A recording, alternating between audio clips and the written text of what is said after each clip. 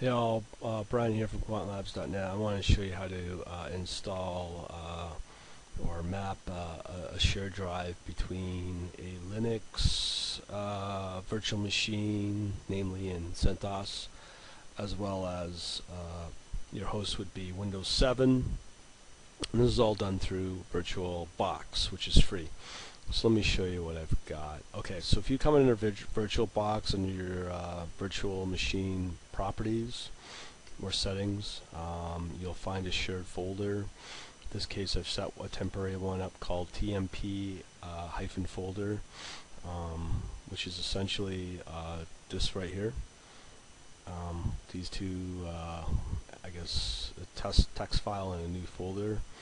Um, so um, this TMP folder will be part of what you mount to on the Windows. And essentially, if you follow uh, this link here, um, you download your VirtualBox Guest Additions, um, which can be done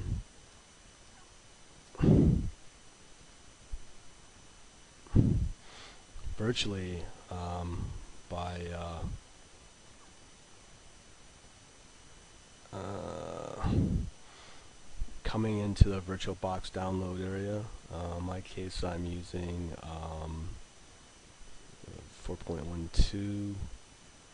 Uh, me just show you about that. Got 4.12 right here. Um, so if I come under um, the, uh, just get the proper uh, settings for you. Just come under this VirtualBox download area right here, the uh, URL. Um, using this uh, 4.12, you'll find the VBox Additions 4.12 ISO. That needs to be downloaded into your uh, virtual machine in your Linux. So um, if you just go to um, that URL just showed you in your virtual machine, download it. Uh, in my case, uh, I've got, um, you know, right here under my home directory in the downloads, I've got the that file, uh, the VirtualBox Additions ISO. So what then you need to do is to um, basically make a directory. Um, something like this, mount it. Uh, at the same time, you need to update the kernel, which takes about ooh, quite a while for your uh, virtual machine's uh, OS. Reboot, um, maybe do a yum install in the GCC of these kernel packages. Uh, namely, if, if you don't do any of this properly um, and you don't have the right uh, additions virtual machine uh, VirtualBox set up for your actual software VirtualBox, you'll get some strange errors.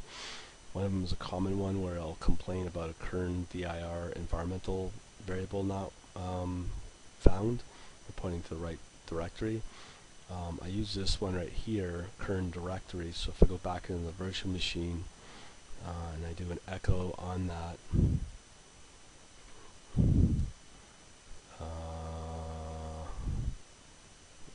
this one?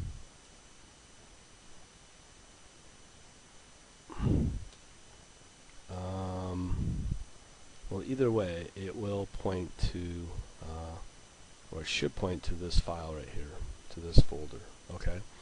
So once you've got that working, then you can go back into your uh, media directory where your uh, VirtualBox Guest Additions uh, resides and run this uh, script.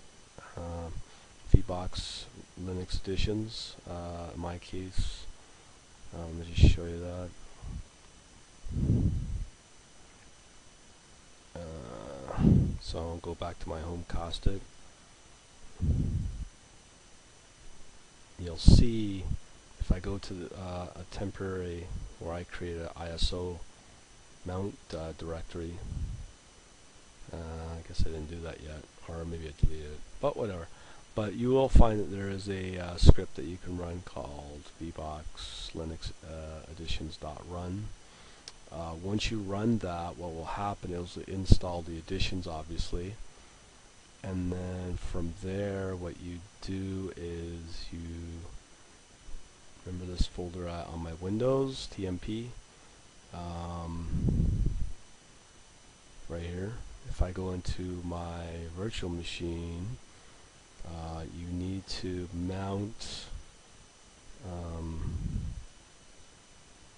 using this command right here.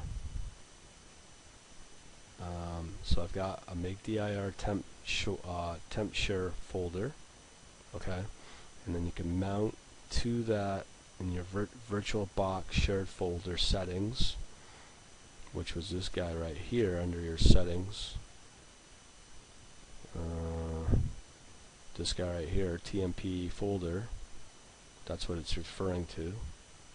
So TMP folder right here, and it's gonna sync it up in this folder called TMP share folder. Uh, Alright, so here we are. And if you look and do an ls, you'll see those two uh, files I showed you, text txt.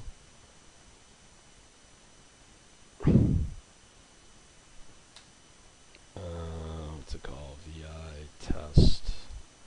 Okay, so that that exists. So if I create, let's say, make dir uh, tst, or I'm gonna just call it, uh, know, junk or something.